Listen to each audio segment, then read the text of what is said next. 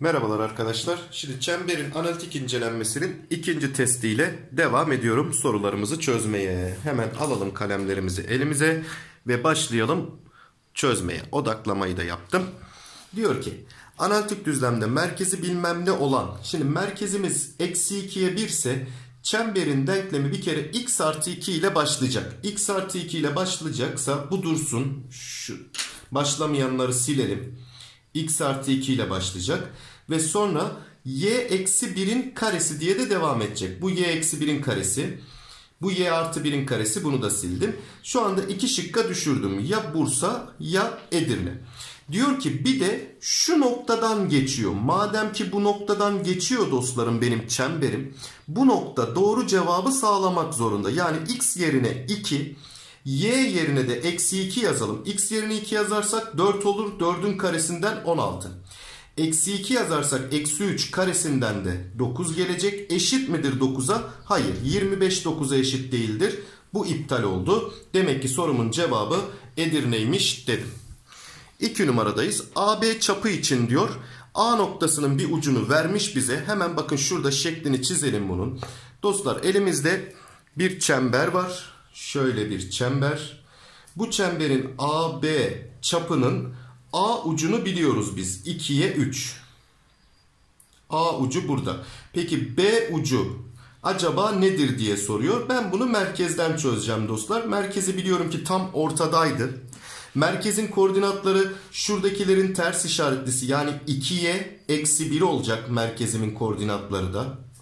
Hemen dostum orta nokta formülünden ya da 2'den 2'ye 0 artış. O zaman buradan buraya da 0 artış olacak. Yani yine 2.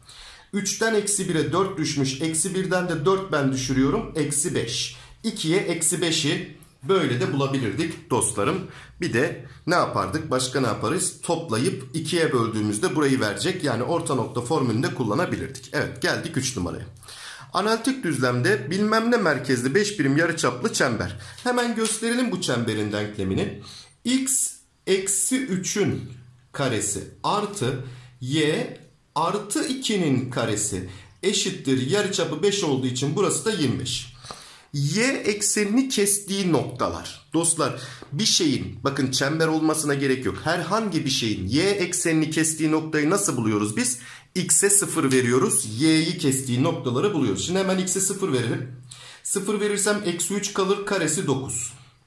Artı y artı 2'nin karesi eşittir 25. 9'u buraya aldık. Y artı 2'nin karesi eşittir 16 oldu. Neyin karesi 16'dır diye sorduğum ya 4'ün yani y artı 2 ya 4'tür ya da eksi 4'ün y artı 2 eksi 4'tür de dedim dostlarım. Peki y buradan 2'yi buraya atarsak y buradan 2 gelir. 2'yi buraya atarsak y de buradan eksi 6 gelir. Bize de işte bu y'lerin y noktalarının toplamı kaçtır diye soruyor. Eksi 6 ile 2'nin toplamı da eksi 4'tür. Üçüncü cevabı Bursa'dan geldi. 4 numaradayım. Çemberiyle aynı merkezli. O halde bunun merkezini bir, bir bulalım biz. Şunun yarısının ters işaretlisiydi. Yani 3. Şunun yarısının ters işaretlisi yani 4. Böyle bir çember var. Merkezi benim bu merkezimle aynı merkezliymiş. O zaman çemberin denklemi bir kere x eksi 3'ün karesi diye başlayacak. Şunu sildim. Şunu sildim. Y eksi 4'ün karesi diye devam edecek. Evet hala öyle. 3 şıkka düşürdük. Sonra diyor ki x eksenine teğet. Dostlar x eksenine teğet dediğimizde biz bu cümleden nasıl bir anlam çıkartıyorduk? tezatlık vardı. X'e teğetse yarıçap y'ye eşit. Yani 4'e eşit. Tabi mutlak değerine eşittir. Yani negatif de olsa ben yine artı 4 yazacaktım. Demek ki R 4. Demek ki eşittirin sağ tarafı 16 olacak. Dördüncü sorumun cevabı da Adana'dan gelecek. 5 numaradayız. Çemberi ile x eksen arasındaki en kısa mesafe kaç birimdir diye bir soru sormuş bize. Hemen bu çemberin merkezini ve yarıçapını bir bulalım biz. Merkezimiz dostlarım ters işaretlisinin yarısıydı. 2 ve 3. Yarı çapı bulalım arkadaşlar. Bölü 2 vardı formülde. Yukarıda da karekök. Karekökün içine d kare e kare. Yani 16 ile 36. Eksi 4 ve eksi 4 ile 9'un çarpımı eksi 36. Şunlar gitti. 16 dışarıya 4 diye çıktı. 2'ye de bölününce 2 kaldı. Yarı çapı da bulduk. Şimdi bunu isterseniz bir de koordinat sisteminde gösterelim daha iyi görelim. Şimdi merkezimiz 2'ye 3. 1, 2'ye 1, 2, 3. Merkez burada. Şu bizim merkezimiz. Yarı çapımızda 2 birim olacak dostlarım. Bir kere şöyle bir çember olacak. Tam şöyle bir şey olacak arkadaşlarım. Bakın şurada y eksenine teğet. Çünkü yarı çapımız 2 ise şurası 2 birim zaten. Şurası da 2 birim. Toplam 3 birimdi. Şu araya 1 birim kaldı. Zaten bize de x eksenine olan çemberin en kısa en yakın mesafesini soruyordu. En kısa uzaklığı. O da 1 birim çıktı. Yani 5. sorumun cevabı Adana'dan geldi. Denklemi bir çember belirttiğine göre. Şimdi çember belirtmenin şartları şöyleydi. 1. Bir kere x, y'li terim olmayacak. Yani şurası kesinlikle 0 olacak. O halde m'i bulduk. m eksi 1 0 olacaksa m 1'dir. Şimdi getirip bunu yerine yazalım. Denklemi bir daha düzenleyelim. x kare artı y kare. Burası 0 oldu artık. Artı 6x eksi 8y m 1 ise burası da 9 oldu. Eşittir 0. Çemberin yarı çapını soruyor. Direkt formülü kullanalım dostlar. R neydi? Bölü 2 vardı. Yukarıda da kare kökümüz vardı. Kare kökün içine d kare yani 6'nın karesi 36. E kare yani 8'in karesi 64. Eksi 4 çarpı 9 yani eksi 36 gelecek. 36'lar gitti. 64 dışarıya 8 diye çıktı. Bir de bölü 2'miz var. Yarı çapımızı 4 bulduk. Yani 6. sorumuzun cevabı da Adana'dan gelmiş oldu. 7. sorudayız dostlar. Diyor ki noktalarından geçen çemberin denklemi. Dostlar burada da ne yapacağız? Madem ki bu 3 noktadan geçiyor. 3 noktada doğru cevabı sağlamak zorundadır diyeceğiz arkadaşlarım. Hemen noktaları sırasıyla yerine yazıyorum. Önce A noktasını yazalım. X yerine eksi 2 yazarsam 3 olur. Karesi 9. Y yerine 0 yazarsam 4 olur. Karesi 16 eşit midir 25'e? Evet. Bu bizim A noktamızı sağladı. Peki B noktasını da sağlamak zorunda. Hemen onu da deneyelim. X yerine eksi 8 yazarsam eksi 3. Karesi ne oldu bunun? 9 oldu. Y yerine 0 yazarsam e, 4 karesi 16. 9 16 daha 25. Onu da sağladı. Eksi 1'e 7'yi de sağlamak zorunda. Bunu da sağlıyorsa zaten direkt doğru cevap Adana'dır. X yerine eksi 1 yazdım. 4. Karesi 16. Y yerine 7 yazdım. 7 4 daha 11 karesi 121. O çok büyük bir sayı çıktı. Son noktayı sağlamadığı için bu iptal. Bu şekilde tek tek kontrol edeceğim arkadaşlar ama her seferinde üçünü de denemeyeceğiz büyük bir ihtimalle. Bakın A noktasını şimdi Bursa şıkkında deneyelim. X yerine eksi 2 yazarsam eksi 2 kalır. 2 kalır burada. Karesi 4.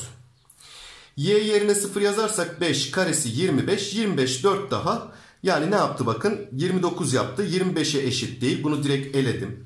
Şimdi x yerine yine aynı şekilde eksi 2 yazarsak eksi 6 karesi 36. Bakın zaten 25'ten büyük bir şey çıktı bunun da olmayacağı aşikar. x yerine eksi 2 yazalım eksi 2 5 daha eksi 7 karesi 49. Oho bu da çok büyük sayı çıktı bu da olmayacak. Demek ki Edirne şıkkıymış diyeceğiz arkadaşlarım. Yani böyle her seferinde 3 noktayı da aynı anda sağlatmayacağız. Sadece ilk şıkta sağlattık. Geçtik 8. soruya. Şekildeki merkezi bilmem ne doğrusu olan ve A noktası 3 noktasıymış. O halde şurası 3. B 9 noktasıymış. B 9 ise şu aradaki mesafenin ne kalması lazım? Şimdi şurası 3 ise 6 kaldı buraya. Merkezden tam kirişin ortasına dikmeyi indirirsem bu 6'yı da 2'ye bölecek 3 3 diye. Yani merkez noktasının apsisini ne bulduk biz arkadaşlarım? 6. Demek ki merkezin apsisi 6. Peki merkezde bu doğrunun üstündeyse denklemini sağlayacak. X yerine 6 yazsam 6 bölü 2'den y'yi de 3 bulurum. Çemberin yarı çapı nedir diye soruyor bize. Şimdi biz nereyi bulduk? Merkezin y'sini 3 bulduk. Peki yarı çap dediğimiz yer şu kirişin ucuyla birleşen yer değil miydi dostlarım? R. Bakın hemen şurada bir Pisagor çakın. 3, 3, 45, 45, 90'dan 3 kök 2'yi paketledik. Dokuzuncu sorumuz. Şekildeki M merkezli OC çaplı. Bakın OC çapmış. Şekiller ne kadar öyle değilse de şurası demek ki tam teğetmiş dostlarım. Daire OC. Şimdi şuraya biz R diyelim. R diyelim. Bakın merkezin koordinatları ne oldu arkadaşlarım? R'ye 0. Sonuçta merkez x eksen üstündeyse y'si 0. Çemberin denklemini yazıyorum. x eksi r'nin karesi artı y eksi 0'ın karesi eşittir r kare. Ve diyor ki bu çember diyor arkadaşlarım 4'e eksi 2 noktasından geçiyor. Yani bu nokta denklemi sağlayacak. Hemen x yerine 4 yazın. Şöyle oldu.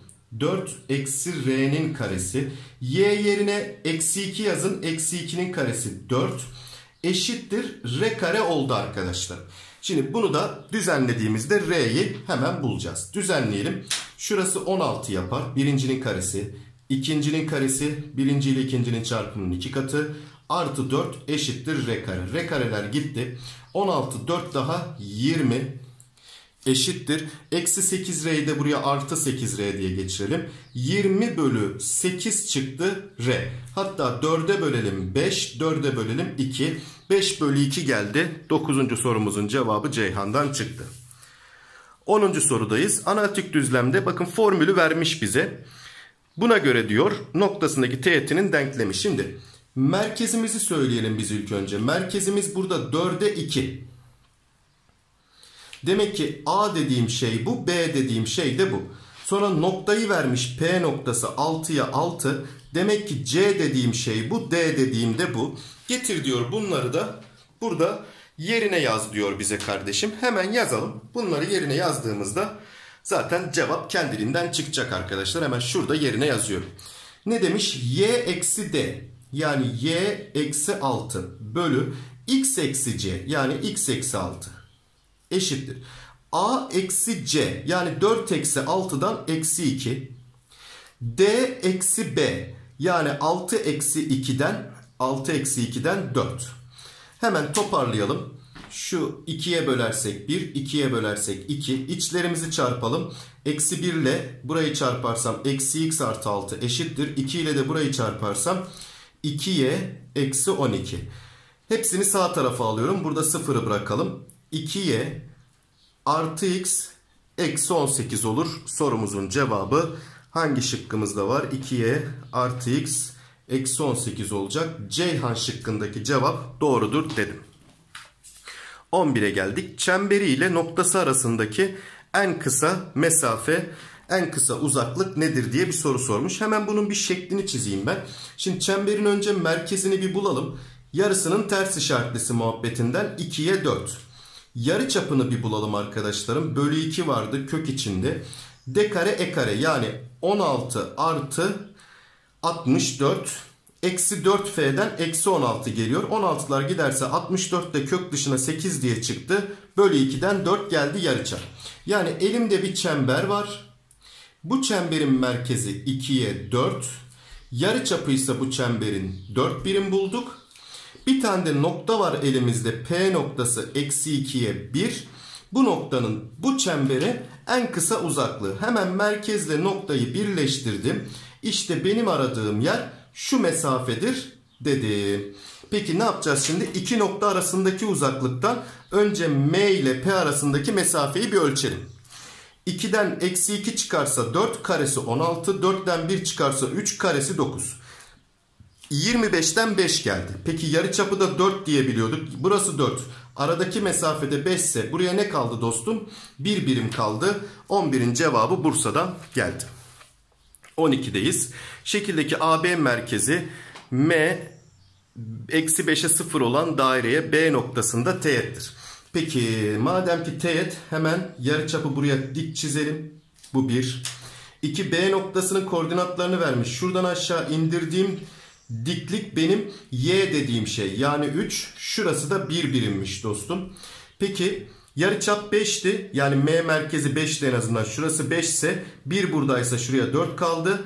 3, 4, 5'i de bulduk.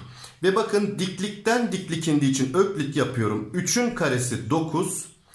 4 çarpı şurası. 4 çarpı k diyelim oraya. 9 bölü 4 çıktı. K dediğimiz uzunluk. Peki bize OA'yı soruyor x'i.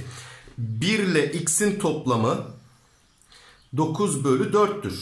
X ne çıkar buradan? 9 bölü 4 eksi 1'den 4. 5 bölü 4 gelir. Yani 12. sorumuzun cevabı da Ceyhan'dan paketledik. Evet arkadaşlar test 2'yi de gömdük. Bir sonraki videoda test 3'ü gömeceğiz. Kendinize iyi bakın. Sağlıcakla kalın. Evde kalın gobeller. Öpüyorum hepinizi.